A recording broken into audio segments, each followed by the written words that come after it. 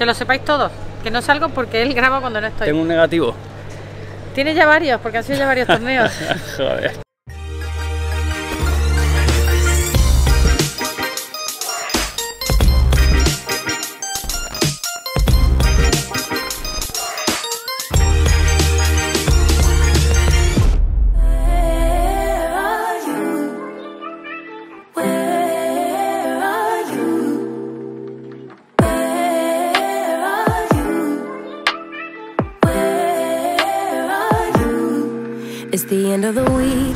Hola a todos padeleros, muy buenos días. Arrancamos el día, hoy tenemos eh, torneo en Valladolid.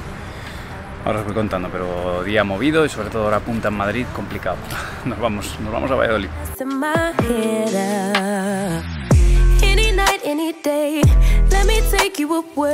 Pequeño parón para, para descansar. Uf, llevo una paliza de, de kilómetros estas últimas semanas que voy destrozado. Pero bueno, Valladolid era sencillo, eh, así que viajo en el día para, Madrid, para un madrileño son nada, 200 kilómetros más o menos, hace relativamente cómodo.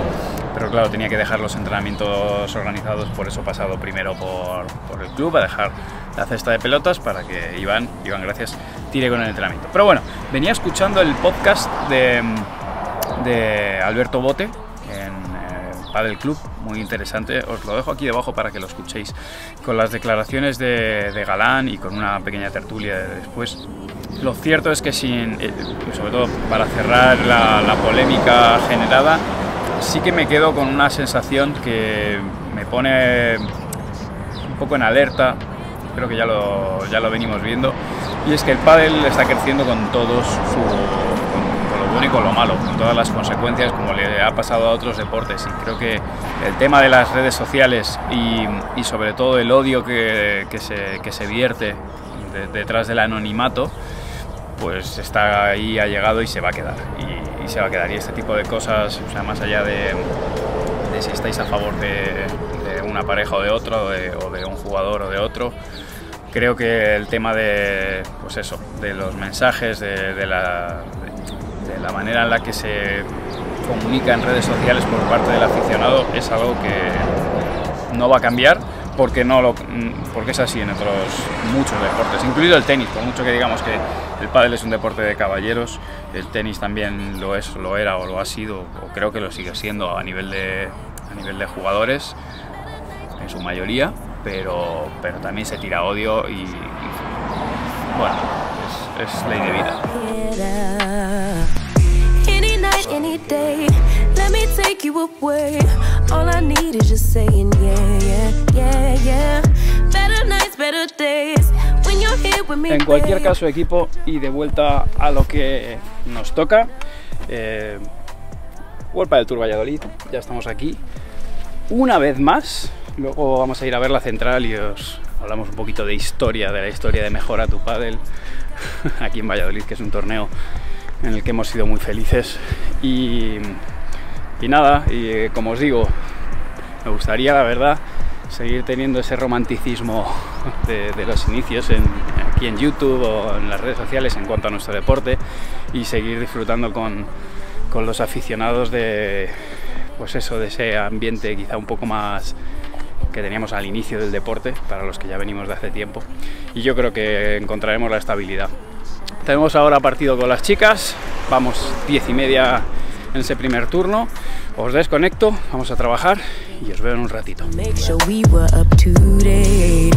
Now it's closer to 11, and I ain't hearing nothing. I just need to know that you're okay. Bueno, team, terminada la primera ronda. Este de aquí os suena, ¿no? Soy, soy Iván de Padezone. Bueno, hoy pues es Iván, es Hugo Cases, es Manu Martín. Por ahí tengo el coche. Bueno, el caso es que el partido salió adelante. Muy bien este año el montaje que han hecho en Ciudad de la Raqueta. Por lo menos, lógicamente, hablo de, de lo que hemos vivido nosotros. Los- las previas sabéis que es diferente, que juegan en, en las cubiertas, pero para nosotros muy bien. La pista fantástica hoy, moqueta nueva, muy bien, muy bien. Eh, con respecto a otros años se ha, se ha dado un paso adelante. Y eh, hoy es martes, que ¿por qué jugamos martes? Que alguno me ha preguntado.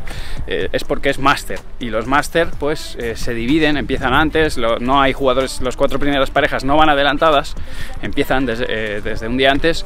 Y ahora esto se traduce en qué? En que mañana no jugamos. Así que eh, es el motivo por el que yo en lugar de quedarme aquí, que tengo bastante curro, pues eh, descanso, bueno, me, voy a casa, pues, cojo el coche, me voy a casa y vuelvo el jueves para la siguiente ronda. Bueno, eso de curro, eso de curro, está todo el día con las redes sociales. Haters. No al trabajo, no trabajo, estoy todo el día con los videitos y con las cosas estas. Y ya está. Vamos a la central. A ver, a ver el montaje y Vamos a ver el montaje ahí. y a currar. Team, estamos yendo a la central. Para todos los que vais a venir a ver el torneo, quiero enseñaros cómo se entra al parking. Mirad, ahí pone parking libre. Nos metemos aquí a la derecha, si no nos pita mucho. Epa, vale. Y por aquí pasamos. Entráis aquí, es un parking de pago, obviamente, pero una vez que has llegado es súper cómodo porque estamos debajo, de hecho, fijaos, esa es la central. Estamos justamente debajo de, de- de la central. Vienes aquí, muy cómodo, metes el coche, aparcas y según sales, zona de stands, que por cierto es abierta, es algo que me preguntáis en ocasiones. Hay torneos donde los stands, pues para compartir un rato con los jugadores, para mirar nuevos materiales, para participar en los sorteos de Energy Paddle, tienes que entrar y pagar la, eh, pagar el pase. En este caso no, eh, hay pase igual. Cuando tú vas al mutua madrileña de tenis o más vas a un torneo de tenis, tienes que pagar. Tienes un pase que es como de libre circulación y luego ya tienes el acceso a la a grada que se paga de otra manera. ¿no? Entonces, en este caso, pues es gratuito. Así que yo os animo para todos los que seáis de la zona, pues que os vengáis aquí a Valladolid. Y esta es una de las mejores maneras, porque si no, ya la verdad que cuando he venido me ha costado mucho aparcar y esto es bastante cómodo. Así que, eh, el consejo del día.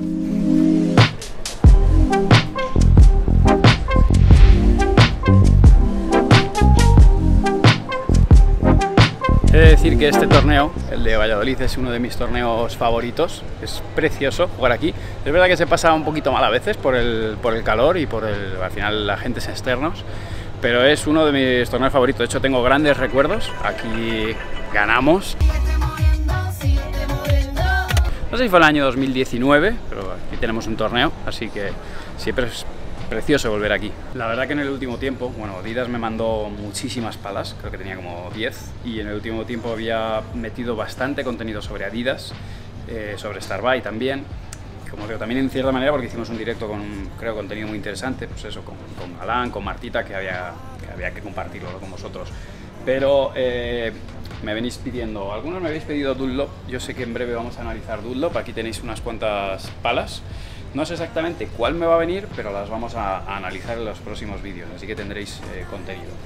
Tendremos también contenido de la Hurricane de, de Marrero, de hecho, está jugando ahora, va 4-4 en el primer set. Yo no sé, pero lo lógico es que pasara y a ver si el jueves puedo verme con ella para que nos cuente un poco más sobre la pala, aunque ya nos lo avanzó. Y Víbora, que la verdad que es una marca que me habéis preguntado en muchísimas ocasiones, son palas que a mí personalmente me gustan mucho porque tienen un tacto que es agradable y un sonido bastante característico, pero es verdad que no lo he sacado en el canal todavía y me, me preguntáis muchísimo sobre ellas, pero bueno, es debido primero a una falta de, de- de tiempo y stock y sobre todo de tiempo, que llegaré, ¿vale? Lo que pasa es que, bueno, estamos en junio, casi julio, y no he echado la cuenta exacta de cuántas palas llevo a analizar, pero son, son unas cuantas. Y bueno, lleva, lleva más tiempo de lo que parece. Pero bueno, me, pondré con ellas. Y NB, que lo mismo. eh, esta me la habéis pedido un poquito menos, pero siempre hay alguien pues, que o la ha tenido o, la quiere comprar o ha encontrado una buena oferta y, le surge la duda, ¿no? Pero bueno, nada, que me pondré con ello. Estoy, lo- me ocurre un poco también lo mismo con Siux, que es que son una pasada. A veces me preguntáis, oye Manu, ¿cómo funciona la Siux? Lo que sea. Y ostras, me cuesta, ¿eh? Me cuesta porque son muchísimas. Y aunque los chicos, eh, Fermosel y Mari, por ejemplo, juegan con Siux y han, y han traído varias a, a- a los entrenamientos, me sigue costando un montón. No quiere salir últimamente en los vlogs, se esconde. No, perdona, perdona. Grabas cuando yo no estoy. Que lo sepáis todos. Que no salgo porque él graba cuando no estoy. Tengo un negativo. Tiene ya varios, porque ha sido ya varios torneos. Joder. Me sacó en el de Málaga porque era en Málaga y le convenía. Bueno, pero luego ya pues no me eras saca más. imagen, Eras imagen. Estoy aquí, he estado aquí esperándote. He estado aquí esperándote hasta que has venido. Es verdad, estaba charlando con unas amigas. Ya está esperando, es verdad. Bueno, ¿qué tal? ¿Buenas bien, la sensaciones verdad hoy? que sí, la verdad que hoy hemos jugado muy bien. Eh, y muy contenta, la verdad, porque no sé, llevamos muchos torneos, partidos súper, súper, súper duros y hoy la verdad que hemos conseguido jugar a un buen nivel y, y, bueno, eh, mañana descansamos. Sí. O sea que por lo menos vamos a tener día y medio de descanso y de tranquilidad y para estar el jueves a tope. Una pregunta que el, el amateur a veces o el aficionado quizá no se da cuenta, y en el caso de los chicos todavía es más acentuado, pero son muchos torneos. Muchos. Como, y sobre todo muchos torneos y muchos viajes. ¿Cómo lo, cómo lo gestionas o cómo lo sientes tú? Pues mira, justo hoy hablaba también con otras amigas y le decía que tengo ganas de estar en casa. ¿Verdad? Sí, eh, que voy de hotel a hotel, de hotel a hotel y no paso, o sea, llego a casa, Sí. pongo la lavadora, la cuelgo Ah, y según la cuelgo la descuelgo y para, y para la maleta y otra vez para viajar.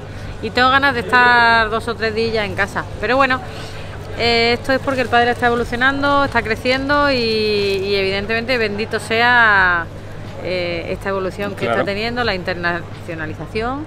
Y bueno, a nivel físico también Es impecable. yo siempre sí trato de descansar siempre cuando termino los torneos dos días eh, y prefiero pasarme de descanso que no, que no llegar cansada a los torneos y o por ahí tener una lesión por sobrecarga. Claro. Entonces trato de cuidarme mucho a nivel físico, tanto con fisio, descansos y entrenar pues lo que venimos haciendo. Lo que corresponde. Sí. Optimizar.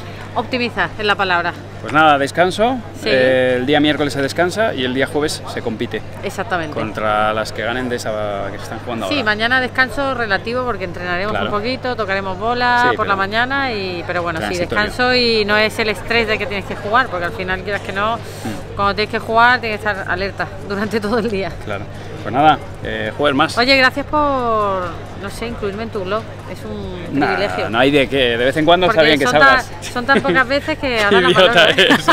Decidle algo a esta tía, anda, en los comentarios. No, no, porque es verdad, que me echáis de menos, pero es culpa de él, ¿eh? Pues yo estoy siempre disponible. Why can't you just tell me? I just wanna be your bride. Eli, por cierto, el otro día me decían en un comentario, bueno, fue en un directo, me dijeron, la pala de Eli es muy dura. Sinceramente, para mí, yo no he tenido esa sensación personal, pero como lo de las sensaciones va, cada uno tiene una. No, eh, la verdad que- ¿Cómo la defines tú? No, de hecho, fíjate, si tuviese que elegir entre dura o blanda, tiraría más a blandita. Yo tengo la sensación que es una pala que te permite el tacto de la bola, ¿sabes? Que la controlas muy bien, que te permite manejar distintas velocidades. Es verdad que debe ser una pala muy completa en el sentido que se le pega y a la vez también se controla bastante. Pero yo no la he sentido dura. También es cierto que cada uno tiene sus propias manías y le gusta una goma u otra. Yo la verdad que en ese sentido con Black Crown, desde la primera que elegí, que ya era la Python 8 me parece, eh, siempre tenía la sensación de eso, goma blandita, bastante manejable y, y- y una pala que, con la que te haces fácil. Es- ¿A qué jugador o jugadora? Primero, ¿chico, chica o unisex o...? Fíjate, yo te diría también que es bastante unisex porque es bastante manejable. También siento que sale la bola cuando le quieres pegar. Otra cosa es que. Otra cosa es tenga que le quieras pegar. Claro. o que a veces le quieres pegar y- y no le pegas bien. Pero yo diría que para ambos. ¿Y perfil de jugador o jugadora? También, también creo que es una jugadora que, o sea, una pala que se puede adaptar a todos los niveles, tanto para el de la persona que comienza, que yo sí recomiendo unas palas más blanditas para que tengan más tacto de bola, eh, como para las personas que van, van mejorando. También me parece una pala, es la que utilizo yo, así que en ese sentido, Obviamente, si la has elegido por algo, claro, creo que es una pala muy adaptable a muchas situaciones. Pues nada. O sea que- Oye, buen partido hoy, ¿no?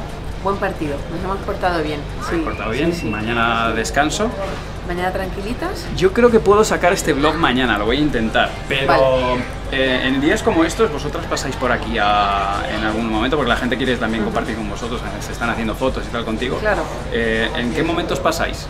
Normalmente, pues si hemos jugado por la mañana, normalmente venimos por la tarde. Eh, hemos terminado de jugar, hemos hecho ducha, fisio, descansamos un poco y luego por la tarde nos acercamos. Así que bueno, si la gente lo ve mañana, probablemente yo esté aquí mañana por la tarde. y- Miércoles por la tarde. Claro, por. No sé deciros la hora todavía, porque tenemos que ver a qué hora entrenamos Claro. y cuándo nos dan pista, pero en principio aquí estaré por la tarde. Pues mucha suerte para el jueves. Y ¿Quién esté por. Valladolid? Claro, a descansar. Muchas gracias. This Que no va- que no va a grabar Manu. Lo primero, eh, Angelote, que, eh, eh, Hasta le persigo.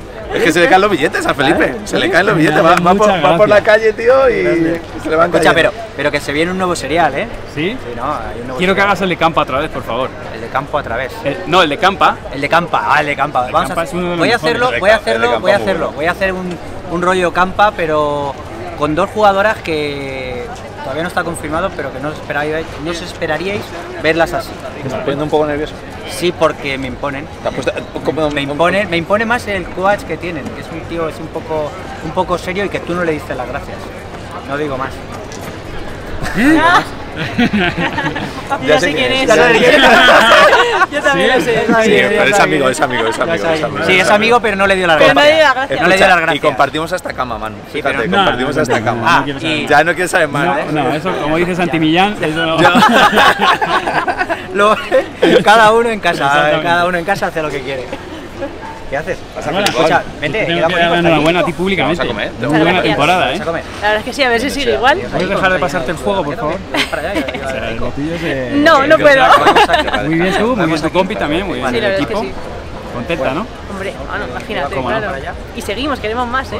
¿Qué tenéis este, en este torneo? Vamos ¿Empezáis ahora a las cinco. No, pues, Eh, contra, Julia, eh, contra Julieta y Ceci. duro, ¿eh? Duro. A tope. Bueno, es club, ¿no? Lo que En tenéis. club. Sí, venid a Mucha vernos. suerte. Claro. Mucha suerte y a seguir en la línea que estáis.